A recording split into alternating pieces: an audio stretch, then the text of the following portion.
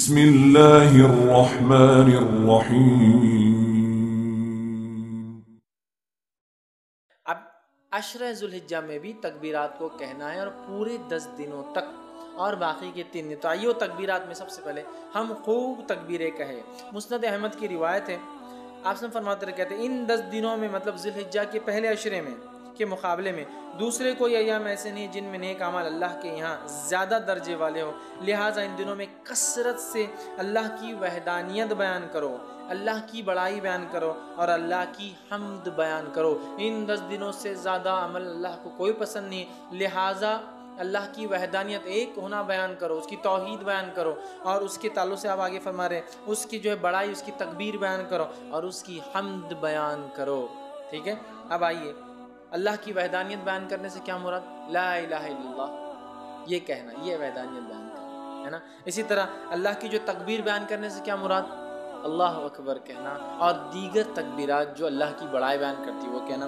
اسی طرح جو اللہ کی حمد بیان کرنے سے کیا مراد؟ اس کی تعریف بیان کرنا ہر چیز کی، اس کی پاکی اور اس کی تعریف بیان کرنا۔ یہ اس سے مراد ہے۔ اور پہلے ذوالحجہ سے لے کر دس ذوالحجہ تک جو تکبیرات کہتے ہیں، ان تکبیرات کو مطلق کہا جاتا ہے یاد رکھیں تو پہلے ذوالحجہ سے لے کر نو ذوالحجہ تک جو تکبیرات انسان بیان کرتا ہے، اسے تکبیر مطلق کہتے ہیں۔ مطلب وہ تکبیریں جو مطلق ہیں۔ اور دس ذوالحجہ سے لے کر تیرہ جو تکبیر بیان کرتی ہے، اس کو کہتے ہیں تکبیر مقید۔ وہ قید ہوتی ہے، کسی عمل کے ماتحت چلتی ہے، یاد رکھیں۔ تو یہ تکبیرات ہیں۔ اب کیا تکبیرات بیان کرے تو آئیے پہ کچھ چند تکبیرات جو ثابت ہے وہ آپ کے سامنے رکھ رہا ہوں، جو ہم بیان کر سکتے ہیں۔ پہلی روایت مصنف ابن ابی شیبہ کی ہے۔ اس کے اندر آتا ہے کہ آپ جو تکبیر بیان کر رہے ہیں بڑائی وہ ہے۔ اللہ اکبر اللہ اکبر اللہ اکبر، لا الہ الا اللہ، واللہ اکبر، وللہ الحمد۔ یہ سب سے کامن ہے۔ جو ہم لوگ عموماً کرتے ہیں، اللہ اکبر اللہ اکبر اللہ اکبر، تین بار ہے۔ لا الہ الا اللہ، نہیں کوئی معبود سوا اللہ۔ اللہ بڑا ہے، اللہ بڑا ہے، اللہ بڑا ہے۔ نہیں ہے کوئی معبود سوا اللہ کے۔ واللہ اکبر اور اللہ بڑا ہے۔ وللہ الحمد اور ساری تعریف اللہ کے لیے۔ تکبیر اور اللہ کی حمد دونوں ایک ساتھ یہ سب سے مشہور اور معروف ہے، یہ آپ پڑھ سکتے ہیں۔ دوسرا جو پڑھ سکتے ہیں، جو ثابت ہے، وہ یہ ہے، الفاظ، اللہ اکبر اللہ اکبر کبیرہ۔ ٹھیک، اللہ اکبر کبیرہ والحمد للہ کثیرہ و سبحان اللہ بکرتم وسیرہ دوسرا آپ یہ کر سکتے ہیں، اللہ اکبر کبیرہ والحمد للہ کثیرہ و سبحان اللہ بکرتم وسیلہ یہ آپ دوسرا کر سکتے ہیں۔ تیسرا آپ جو کر سکتے ہیں، اللہ اکبر اللہ اکبر اللہ اکبر کبیرہ۔ اللہ اکبر، اللہ بڑا اللہ بڑا اللہ سب سے بڑا ہے۔ یہ بھی ثابت اللہ اکبر اللہ اکبر اللہ اکبر کبیرہ۔ ٹھیک ہے، اس کے علاوہ جو ثابت ہے فت الباری میں جو روایت آتی ہے، اس میں یہ ہے، اللہ اکبر اللہ اکبر اللہ اکبر کبیرہ، اللہ اکبر، یہ الفاظ بھی جو ہے آپ ادا کر سکتے ہیں۔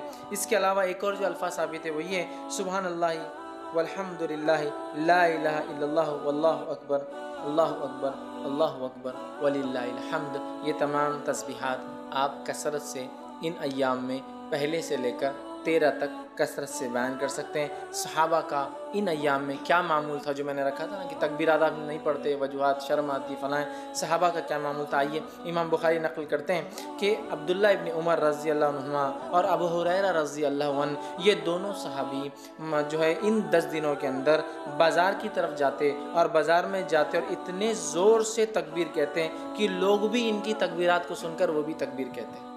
اب اگر ہمارے دور میں کوئی تکبیر بولتا گیا تو وہ ایک تو پاگل ڈکلیئر ہو جائیں گا۔ ایکسٹرا آرڈنری حد سے زیادہ کہیں کو دکھاوا کر رہے بھیا، تم یہ یہ کرنا والی چیز ہے۔ اگر یہ دکھاوا ہوتی صحابی کبھی نہیں کرتے تھے۔ یہ کرنے والے عمل تو یا تو وہ ہو جائیں گا، یا تو پھر اللہ کا ولی ڈکلیئر ہو کے عام لوگوں سے بڑا ہو جائیں گا اللہ کا ولی بھائی ہم نہیں کر سکتے۔ نیکسٹ آگے۔ یہ ہو جائیں گا معاملہ صحابہ نکلتے تھے اور اتنی زور سے بولتے تھے کہ سننے والے غفلت میں ہیں، بازار میں لوگ مارکیٹ میں بھول گئے۔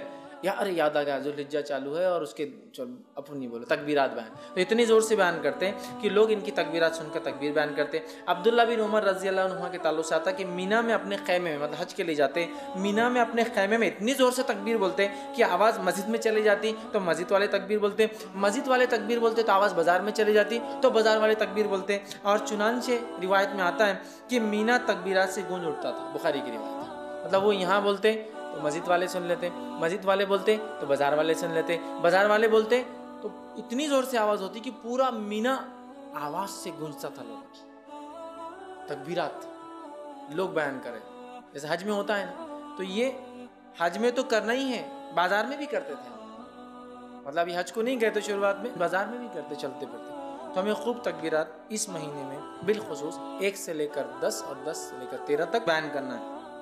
تو اسے پتہ چلا کہ ہمیں چلتے پھرتے، اٹھتے، بیٹھتے ان میں تکبیرات باواز بلند زور سے بیان کرنا ہے اور عورتیں چونکہ وہ زور سے نہیں کر سکتی تو وہ پست آواز میں، ہلکی آواز میں اپنے گھروں میں کریں گی۔ ہاں اگر گھر میں غیر محرم کے سننے کے ڈر نہ ہو تو عورتیں بھی بلند آواز میں تکبیرات پڑھیں گی۔ سمجھ لیجیے گھر میں صرف محرم ہے۔